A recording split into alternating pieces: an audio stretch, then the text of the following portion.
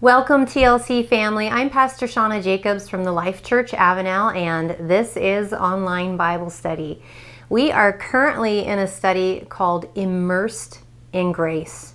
And we've been really trying to be more conscious of the grace of God that surrounds us every single day. When we get more grace conscious than sin conscious, that's when we see a real breakthrough in our life. Um, even when it comes to, you know, fulfilling your calling and living for God, instead of being, you know, having this performance mentality where we're on the hamster wheel just trying, trying, trying so hard to please God, now we are rested in His grace and we are walking in His grace. We're empowered by His grace to walk out our salvation, to do and fulfill what He's called us to do. But instead of it being a, out of a relationship that's stress and strain and wondering if we're going to please God or is He going to be angry with us, now we're secure in His love. We understand that His love toward us was unconditional. It had no strings attached. You know, we were talking a couple weeks ago about the prodigal son and how the father um, took him back without a thought, restored him to his position, gave him the robe, threw him the feast, and it definitely was not based on his performance. And as Jesus was telling the people this story, he was demonstrating the father's love toward us. For God so loved the world that he gave us Jesus. And Jesus fulfilled all of the law. Jesus fulfilled all the requirements that we were trying to measure up to and couldn't, and gave us his grace, his life, uh, peace with the Father. We got so much as a result of what Jesus did for us. And it was all simply by faith. And so we were talking about just trusting the rescuer, right? That a, an image of faith is like you're you're on in a burning building and the death and destruction is creeping up on you. That's you know all that's left for you here. But the rescuer has a net spread out underneath and he's ready to catch you right? And we just need to take that simple step. That's what faith is just a simple yes towards Jesus and what he's done. And that gives us access to the grace of God and everything that God has provided for us so it was simply faith. That's how we got saved, and that's how we continue in our salvation every single day. And it, it's so good because God did it this way. He set up salvation, this whole system, this way, so that there be no restrictions on people or no one excluded um, who, you know, maybe was not as skilled as another. Um, in Romans 4:16, it says, "Therefore it is of faith that it might be according to grace." so that the promise might be sure to all of the seed, not only to those who are of the law, but also to those who are of faith the faith of Abraham, who is the father of us all. So, why is it simply faith that gives us access to this grace? So it might be sure, a sure thing to all to all who call in the name of the Lord shall be saved, right? And so God made it this simple for a reason. And religion has tried to corrupt this, right? The Apostle Paul, we read um, several weeks ago, said, that, uh, that there were those who were creeping into the church at Galatia who were trying to pervert the gospel, trying to mix works with grace, and putting people back under bondage and saying, well, yes, you got saved by grace, but now you still have to keep the law, and you still have to be circumcised, and you still have to do this and that and this and that. And Paul was very bold about it. He said, if salvation could come through any other means, then Jesus Christ died in vain. He died for nothing if that were possible. But it was it's not possible. Jesus said, "I am the way, the truth and the life. No man comes to the Father except through me." And so, simply believing our rescuer, simply believing Jesus, our Savior, that He took care of it all for us. And we just get to, we get in on all of the goodness of God because of His track record and not ours. That gives us access to all of this. Hallelujah. And so, Jesus, He simply needed our yes right? He simply needs our yes. And this is the approach that continues throughout our Christian walk every single day, everything that you need is provided through the work of Jesus Christ. And so now, as we approach God, we're not begging Him, trying to get Him to give us something. We're not trying to prove to Him that we deserve something, whether it's a blessing or a healing or provision, whatever it might be. No, we're simply approaching Him as a child because He loved us so much that He really did it all. Hallelujah.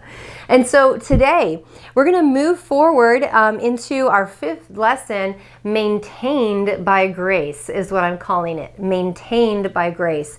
And so we're going to be starting in Romans 5 8 today.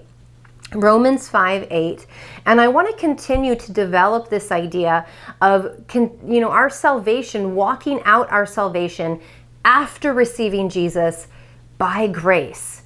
Because again, I feel like that's where you know the that religion has tried to cloud the waters right it's become very murky like okay you received jesus but now if you don't clean up your act if you don't do this and that and this and avoid this and that and this, then you could still go to hell, or God will still be angry with you, or you don't deserve that healing that you need. Um, and so I want to continue to dive into this so that you can see everything that we receive from Jesus, from God the Father, is by grace. We can't earn it. And so Romans 5 8 says, But God demonstrates his own love toward us in that while we were still sinners, Christ died for us. Now let's pause there for a second, as many do, and say, God loves the sinner. Absolutely true, right? God loves the sinner. He loved us before we came to Him, before we said yes to salvation. He loved us unconditionally. But the Apostle Paul didn't stop there. He's using this to draw a comparison. And so let's keep going. I'll reread that verse and then we'll continue on. So, verse 8 again said, But God demonstrates his own love toward us in that while we were still sinners, Christ died for us. Verse 9. Much more then, having been justified by his blood, we shall be saved from wrath through him. And so I love the phrase much more. So Paul's saying, okay, God loves the sinner so much that he sent Jesus to die even when we didn't deserve it. We were ungodly. We had nothing to offer in return, right? God loved the sinner.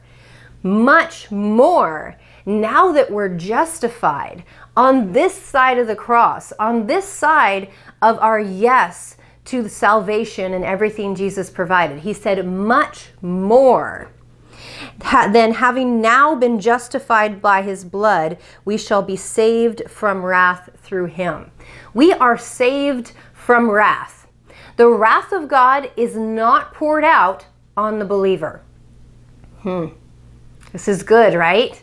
Because so many people get confused when they think about you know, the return of Christ and they picture, you know, the judgment seat and, you know, God still might be angry with you if you don't do enough good works. You know, if you didn't, um, you know, prove yourself worthy of the name of Jesus while you were on this earth, then there still might be wrath. No, we've been saved from wrath through Him. How much more does He love us now? That we have been grafted into his family. Hallelujah. And so when Paul was talking about the gospel being the power of God unto salvation, he wasn't just talking about the initial born again experience. He loved you and died for you when you were ungodly. How much more does he love you now that you are born again? And so think about this, right, as parents, and many of you watching, you are parents, you have children, right? And we think about the love that we have for our children. Now, if I can compare that for just a moment to the love I have for my students, right? As a public school teacher, I love kids, right? I my whole career is really um, based on influencing kids and loving them and just having them understand the goodness of God through me, being a positive role model for them. I love kids. But is it the same kind of relationship that I then have for my children? And those of you who are parents understand, no, it's not. Like, I love my students, but I can't take them home with me. I can't, you know, dis- help them decide on their future and, you know, all of those things that a parent does because they have parents, right? They have a family. And that's not my place to step in and do that. So I can be an influence and a positive role model, but I'm not the parent in that relationship. But when it comes to my children, how much more, right? I think about when Isaac was first born. Um, and uh, and he was born on you know a rainy night in Canada, um, Smith Falls Hospital, and you know they brought him to me after the whole delivery and everything. Um, and I remember looking at him the next morning. We're in the hospital, and thinking, "Wow, he's mine." I get to like walk out of here and take him home with me, and no one's gonna stop me or ask for him back because he is my child. And it was just, you know, such a, a, powerful thought because I'd looked after lots of kids before that, babysitting and younger siblings and all of that kind of thing. But this one was mine. How much more? So, Paul in Romans 5, verses 8 and 9, is drawing the comparison that yes, God loved you when you were a sinner, enough to still send Jesus to die for you. But how much more? Now that you are in the family of God, you've been born again. How much more does He love you? How much more are you saved from wrath through Him? Hallelujah. You know, we are God's child. And when he adopted us into his family, not only did, you know, he just say, okay, you know, you're not, you know, of me or from me, but I'll take you into my household. No, he rebirthed us from above. He changed our name, gave us his name gave us His authority, gave us His provision, made us His beneficiary, right? The Bible says we are heirs of God with Christ. He went all the way. And so now that you've been, you know, reborn into the family of God, we are His child. He's not letting you go. Can you imagine, you know, if someone tried to take your child away from you? I know many of you would fight to the death, right? We would fight to the death because no, that is my child. And God is, it says He earns jealously. I'm getting ahead of myself, but we'll get to those verses in the study and the next. But He yearns jealously. He, because you are His, you belong to God. And that's a powerful thing that, you know, God looks at you and says, they're mine. I don't ever have to let them go. Sin's not an issue anymore. The devil can't steal them from me. They're my child. Wow. That's your position with Father God. Isn't that awesome? Wow. And so let's look. We're going to go and read one more verse now. So we'll go to Romans 5:10. But I want really want you to get this that not only are we saved from grace, uh, saved by grace, but we are maintained by grace. Our whole relationship is with God through the grace that He's given us. It's all about what He did for us. He loved you so much more, so much more. And this grace gives you access to all of salvation, as we talked about in our study, all inclusive package, right? We uh, are healed by grace, we are delivered by grace. We are prospered by grace. And so, no salvation benefit is performance based. It's all included in the grace for salvation that Jesus gave us. Hallelujah. And so let's go to Romans 5:10. For if when we were enemies, we were reconciled to God through the death of his son, much more, having been reconciled, we shall be saved by his life. There's that phrase again much more. Yes, God loves the sinner, but how much more does he love you, his child? Hallelujah. Hallelujah. And so we know because of this love that God had for us, um, that our faith works by love, right? In Galatians 5 6, it says this that faith worketh by love. And so, if we understand how much God loves us, then our faith abounds, right? Our faith gets stirred, and then we start to see manifestation of all of the benefits of, of, salvation in our lives. It's not from trying to keep the rules and regulations better. No, it's from looking to the love of God and understanding the position He's given you that that stirs faith. That gives us confidence to step out boldness to step out. Hallelujah. And so we are maintained by this grace. So, since religion's been preaching this performance based relationship with God instead of the true gospel, most people believe that the Lord loved them when they were sinners, but that He gets harder on them once they're saved. All right? And so it's like, let me give you this example. I was reading through um, Reverend Andrew Wommack's study on grace, and he gave this illustration that I thought was pretty effective. He said, Think about your church, right? And let's say a drunkard comes in off the street, right? He's slurring, he's stumbling, he's really messed up. And so, church family sees him, you know, surrounds him with love and grace and says, Hey, yeah, you know, sit right here and just let the presence of God minister to you. And God loves you so much. And, you know, we make an effort to reach out to the sinner. Well, imagine now that this person that who walks in drunk has been born again. Maybe you've seen them come to church for several years, and all of a sudden they come into church service drunk and messed up would you treat them with the same grace and mercy? Or would you now give them the law? Because, well, they're born again, so they should know better, right? They need to get their act together, or God's wrath is going to be poured out upon their life and they're going to be destroyed. What about grace and mercy surrounding the believer?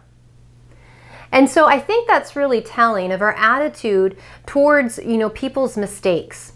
We have a different measurement. Well, oh, you're a sinner, so okay, we'll let you slide. You're a Christian, so no, you need to smarten up, right? You need to get things together now. And we start to give the law instead of grace, where we know it's the goodness of God who leads people to repentance. If there's a Christian who needs a turnaround, they need to you know, start making changes in their lifestyle because it's destructive. What is going to help the empower them to do that? Is it going to be the law and condemnation or is is it going to be the grace and mercy of God? Them understanding just like the prodigal son, hey, you know, maybe you haven't been living right. Maybe you've messed up. But the loving father still has his arms open towards you. He loves you much more he loves you so much that He's not going to leave you in that state, but He wants to accept you and help you to overcome addiction, whatever it might be, right? That's the stumbling block. Hmm. So maintained by grace. Let's go to Colossians 2 6. Colossians 2 6. As you therefore have received Christ Jesus the Lord, so walk in him. As you have received him, so walk in him. In the same way that you came to Jesus and received him by grace, knowing that you were not good enough, that he took your sins on the cross, that he died to give you new life, right? Think about how when you got saved, how you approached Jesus. You knew, hey, I can't be good enough. I need Jesus. And so we came to him and we received his grace. As we received him, it says, so walk in him. Just like that, that same attitude that we came to him for salvation initially, we walk out our salvation every day of our lives with that same attitude, knowing that, hey, I couldn't measure up. The grace of God, though, was more than enough for me. And so as I just receive that grace, I just receive the mercy, right? That's when that's when that's what pleases God, right? That's what pleases him is simply accepting what Jesus has done by faith. Hallelujah. So, the same way we came to Jesus is the same way we continue every day. And so now our daily time with God, because of this revelation, includes boldness. Now we understand hey, God and I are good. We, I've got peace with God, right? We're good. We're in a close, intimate relationship. And so God's got my back. He's with me and He's in me. Now we're bold, right? If there's something in our lives that is not measuring up to the will of God in heaven, then we bring that boldly before God. We attack a situation with boldness. Um, we, we know that now we're secure in Him. And there's nothing you could ever do to make Him leave you. You know, the Apostle Paul says, Who can separate us from the love of Christ? Shall, you know, famine or storm or peril or, you know, all, he makes this whole giant list persecutions, all these different situations, all these scenarios. Can any of that separate you from the love of Christ? He says, No. Nothing can separate you from the love of Christ. There's nothing that you could ever do to make him leave you. He will never leave. I know this is this is something that this is a security that we need to work on, you know, giving our family, including our spouse and our children. You know, how much would it improve your marriage if you told your spouse, I will never leave you? You're not getting rid of me. You're secure in my love. Right? That changes things. That gives them a boldness that helps them to trust you and understand that no matter what comes up, you're going to work on it, you're going to work through it together, and you're going to come out stronger on the other side of it. This is what God is telling you. I will never leave you. I will never forsake you. There's security in that church. There's a, a boldness in that. You know, we sing the song, uh, well, it's an old song now. We haven't sang it in ages, but Come Just As You Are, right? Come just as you are. Hear the Spirit call. And, you know, it's kind of an altar call song, right? And we, we expect, you know, sinners to come to the altar and receive Jesus. Come just as you are. But what about Christians? Come just as you are. Hey, you messed up this week? Come anyways. Hey, you've been struggling with addiction? Come anyways. Come just as you are. Because God loves you much more. Hallelujah. So we're maintained by His grace. Um, condemnation, guys, is a huge problem in Christianity. Um, we let the devil beat us up and make us think that we don't deserve blessings. And you know, he wants to accommodate that. Oh, you you see that mistake you made? Yeah, now Ooh, I wouldn't go to church if I were you. You'd be a hypocrite if you did that. Ooh, someone saw you make that mistake and then they saw you show up at the Life Church on Sunday. No, no, no. And he tries to beat you over the head and make you feel unworthy. Well, newsflash, we were unworthy. There was nothing we could do to get salvation. And that same position where we say, hey, Lord, I don't deserve it, but you love me anyways and you gave it to me anyways. And so thank you. I receive that. We continue to walk out our Christianity, our salvation every day with that same attitude. There is therefore no condemnation for those who are in Christ Jesus. Romans 8 1. No condemnation for those who are in Christ Jesus. And you might be saying, well, am I in Christ? I don't know. Am I out of Christ today? Am I in Christ tomorrow? You know, and it feels like a wishy washy thing to you. But no, if you have received Jesus as your Lord and Savior, if you simply said yes to the rescuer, then you are in Christ. And there is no condemnation that should be leveled at you. You should not be experiencing condemnation in your life because you are secure in the love of Christ. And so, this condemnation problem, I believe this is the reason why we see so many Christians sick. you know, suffering from sickness and disease or, you know, in poverty and they just can't seem to get ahead because of this condemnation. Because the devil has tricked them into thinking that they don't deserve the blessings of God. And it's so untrue. It's so untrue. And so, um, you know, they don't understand that God actually wants them to be well. They look at their performance to see if they qualify.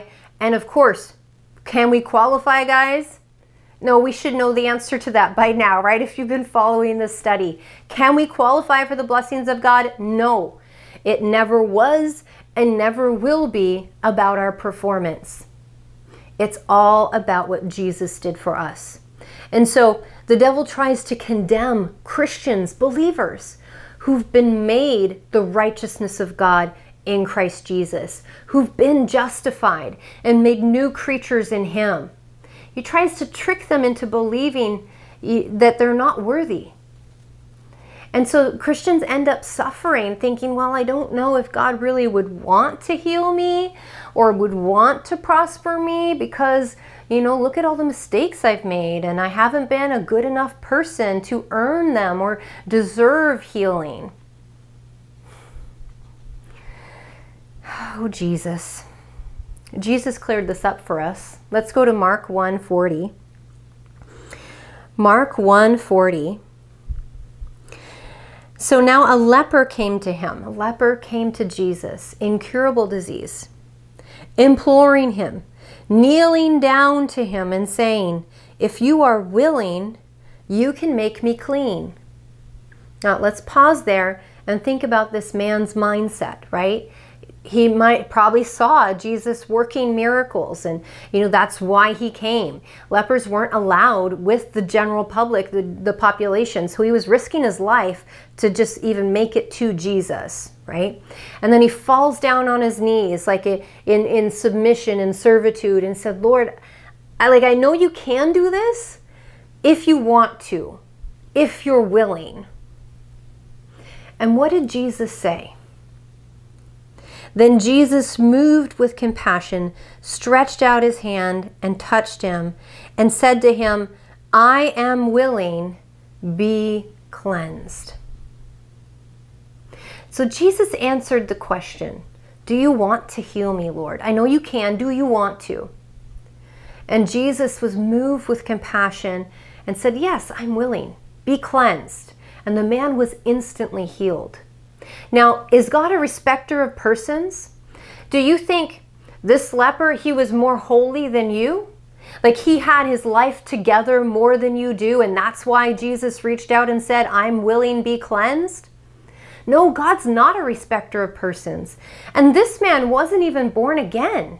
Jesus hadn't even gone to the cross and paid for that man's sins. Yet he still was moved with compassion and said, Yes, I want to heal you. Be cleansed. How much more, guys? You, as a child of God who's been rebirthed from above, who's been made righteous by the blood of Jesus, He loves you much more. You've been saved from wrath through Him. How much more is He going to say, I'm willing? Be cleansed, be healed, be made whole. That's already been purchased by the stripes he took on his back before he went to the cross.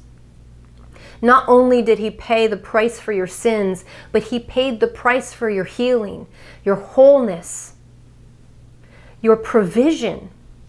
This all inclusive package.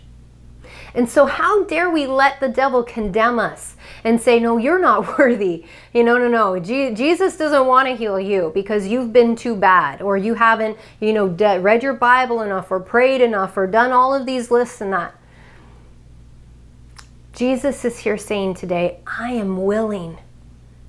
Be cleansed. If you need healing in your body right now, I just want you to receive that. Receive His strength in your body right now by His grace. Because He loves you so much, He wants you well. He wants you healthy and whole from the top of your head to the soles of your feet. That means no defects, no weakness, no sickness or disease. Don't settle for anything less than the perfect will of God for you. And that is complete health and wholeness. Hallelujah. We are maintained by His grace, church. Not only did we receive salvation by grace, but every step of the way, everything that you need is simply received by His grace. Hallelujah. And so I'm, I'm really, really sensing that there were people watching that, that had something wrong in their body. And again, it's not complicated. God didn't make anything complicated.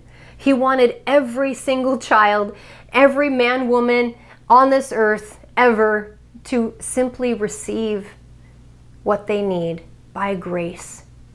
And so just receive that healing right now. Don't think, oh, well, I, I, need to, I need to, you know, make my list of scriptures and I have to do this and I have to do that. No, no, no, no, no. Pause, pause. Jesus is here right now telling you, I am willing. I want you well. Just receive it. I got you. Just receive it. Amen. Thank God for his goodness. Glory to God. Well, we're going to continue with this next week. We'll pick up right here. We did not get through a whole lesson this week, but it was good. Thank God for His grace. Thank God for the Holy Spirit who knows exactly what you need to hear, right? And so, you guys have an awesome week. Be blessed.